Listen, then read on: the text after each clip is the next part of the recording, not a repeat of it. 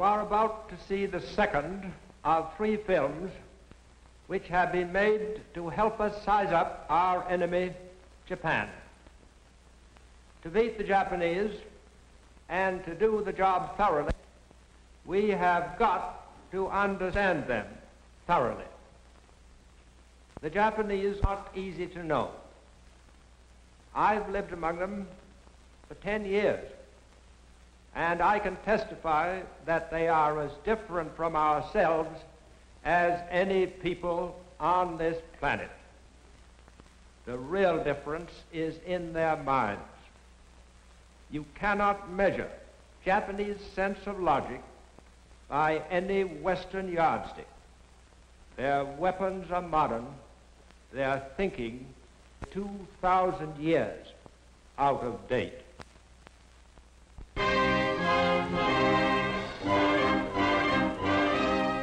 To the 70 million people of Japan, Hirohito, their emperor, is a god through direct descent from the great sun goddess Amaterasu.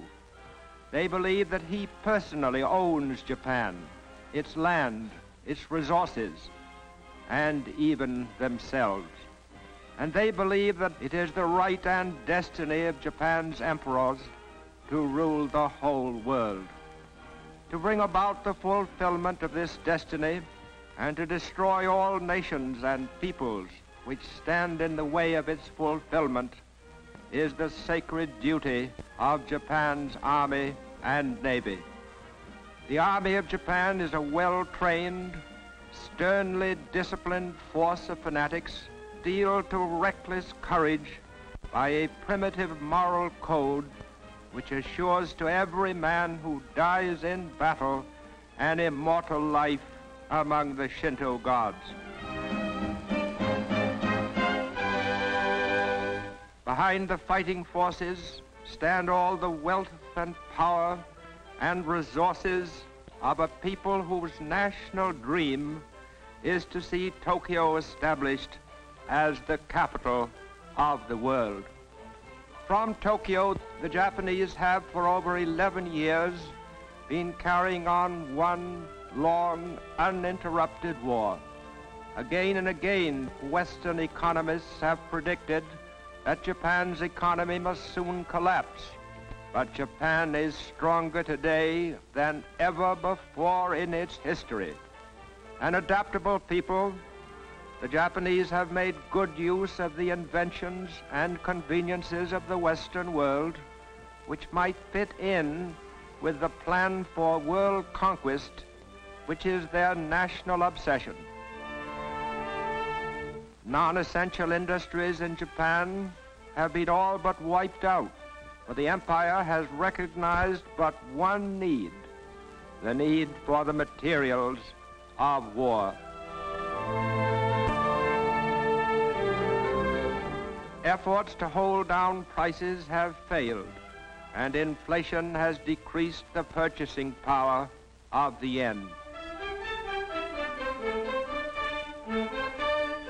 Japan's gold supply is carefully hoarded, no longer forms a basis for her money, but Tokyo's bankers see their turn coming later when Japan begins exploiting the lands it has conquered.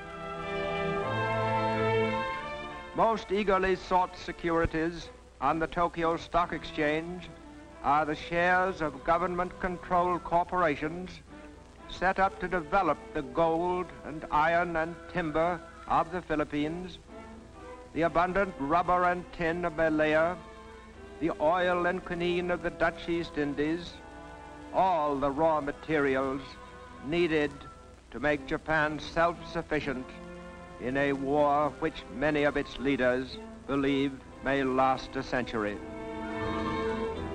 Never an inventive or creative people, the Japanese have always depended on the scientific and industrial knowledge of the Western world. And now that they are at war with Britain and the United States, they find their chief source from which to borrow fast-changing production techniques in Nazi Germany.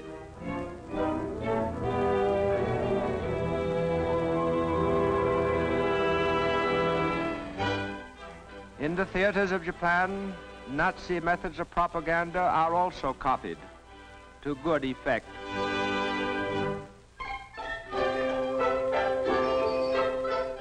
The Nazi concept of total war is highly satisfying to the Japanese mind for throughout its modern history, Japan has been a totalitarian state preparing for total war. Playing their closely supervised part in total war are Japan's metropolitan newspapers, which ape the great American dailies. For a stick of type can be set, it must be approved by the Army, the Navy, the police, and the Foreign Office. No story or editorial, no picture or cartoon may be printed which opposes the concept of a Japanese-ruled world. Thus, to the Japanese reading public, the progress of their holy war is an unbroken succession of triumphs. Every disaster becomes a victory, and all news is good news.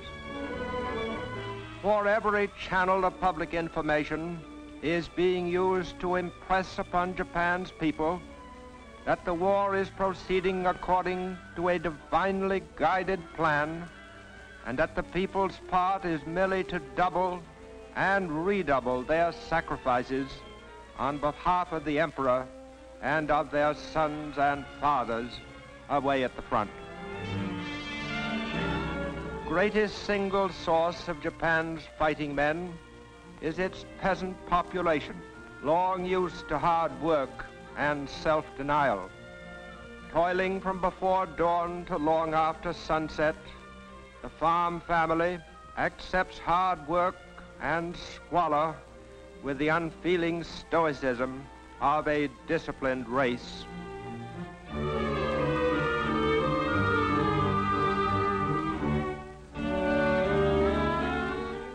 Are crudely built with a framework of wooden beams and walls of mud and chopped straw.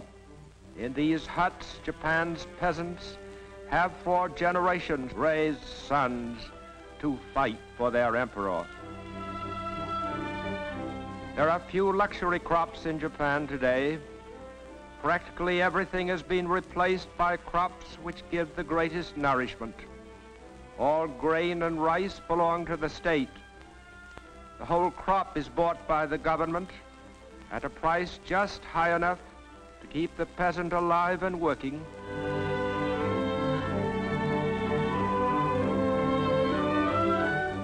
And in a nation where land is the chief source of food and life, no square foot of farmland, however meager, is left untilled. To protect its supply of hardwood, Japan has for years practiced reforestation on a national scale. And today its lumber, like everything else it produces, is going into the war effort in one way or another. To make sure that on the farm not an hour is spent in idleness, no material is wasted. Every rural community produces useful handicrafts.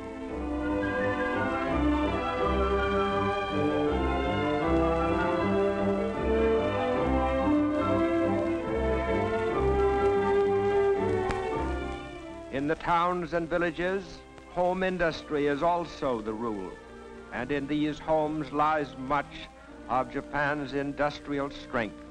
With each home a miniature factory, the nation's total production is almost beyond estimate. With the same fanatic zeal that inspires the soldiers, whom they so devotedly support, the Japanese people are today working for the destruction of the land they fear and hate most of all, the United States. A land which more than any other, the Japanese have cause to remember with gratitude and affection. When in 1923 Japan was racked and broken by an earthquake, it was the United States which was first and most generous in giving aid. Into Tokyo and scores of other shattered and suffering cities poured millions of American dollars, shiploads of American supplies to save lives, to heal the injured, and to help rebuild Japan. Today, Japan's restored cities are filled with mills and factories turning out materials of war. In these factories, there is no shortage of labor. Farms and villages comes an endless supply of girls eager to contribute to the war effort for a year or two before they marry and begin bearing sons for the Army and Navy. Willing to work 14 hours a day for little more than room and board, they find factory meals of boiled rice, fish, and tea better fare than they had at home. Since nearly a decade before Pearl Harbor, Japan's heavy industry has been mobilized on a war footing. Its materials, machine tools, and workmen integrated into a long-range program to build up and maintain the Japanese war machine. To make up for shortages of strategic materials, it accumulates great stockpiles of raw materials by importing them from China, India, the Netherlands East Indies, and from Western nations.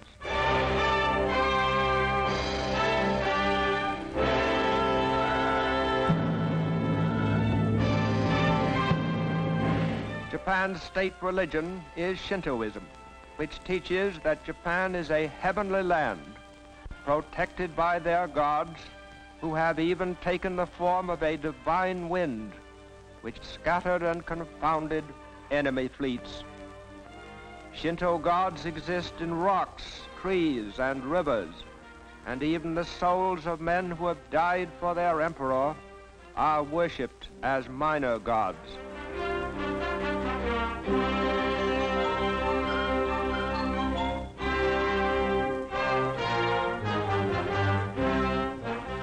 And in the immemorial fashion of these ancestors, they fortify with pageantry and savage symbolism the belief that innumerable and deities in them to be the conquerors of the world.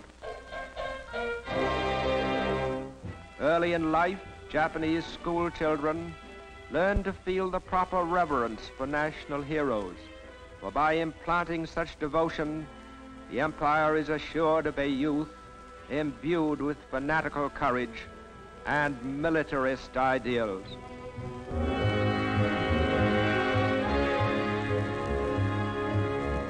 From infancy, Japanese children find their days strictly scheduled to the discipline of total war. In physical culture groups, they harden their bodies learn the obedience to orders which will make them good warriors in later life.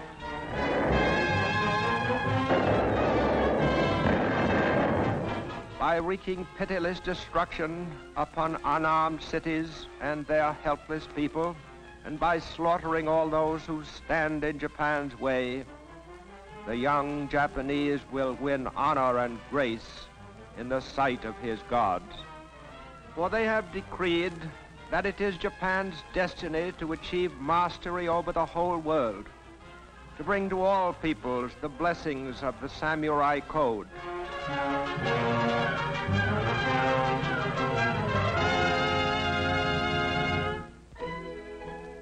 In learning to read and write the complex Japanese language, of more than 4,000 characters, there is stern discipline for the mind.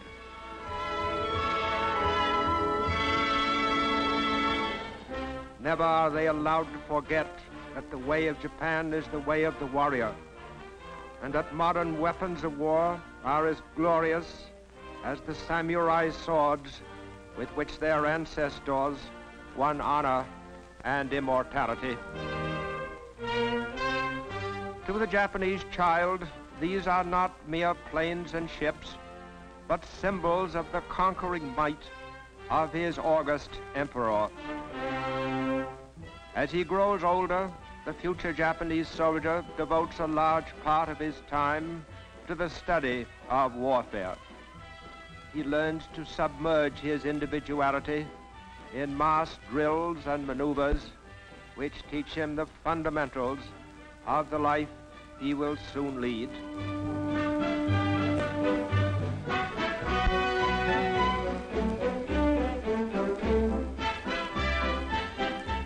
He is taught how to handle a rifle under a drill master who is both able and severe.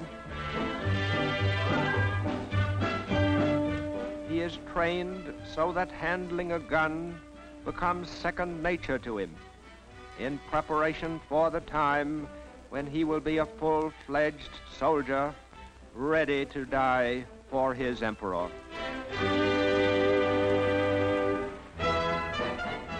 Anticipating worldwide expansion, Japan has for years maintained a school of military government and colonial administration where picked young Japanese learn the approved attitude and method of ruling conquered people in a conquered territory.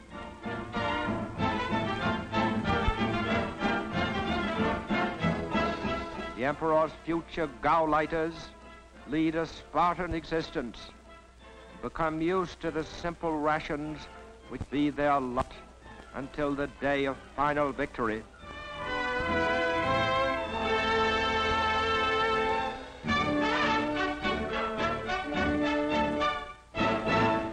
At 17, every Japanese becomes automatically eligible for military service.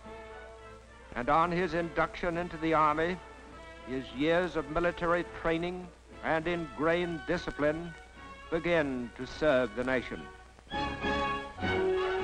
Averaging only five feet three in height and 117 pounds in weight, the Japanese soldier is expected to compensate for his small size by his fanaticism in battle.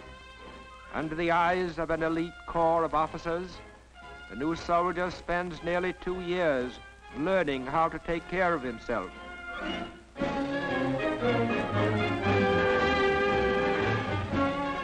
And it is a matter of pride with each Japanese soldier that he conform to the accepted pattern.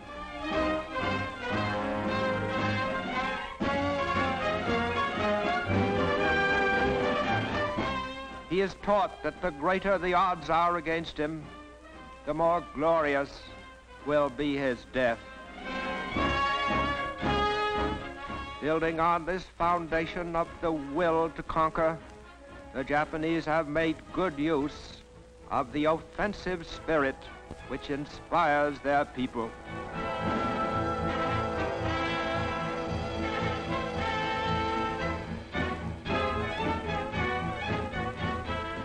Today, they believe themselves well on the way to realizing their imperial dream.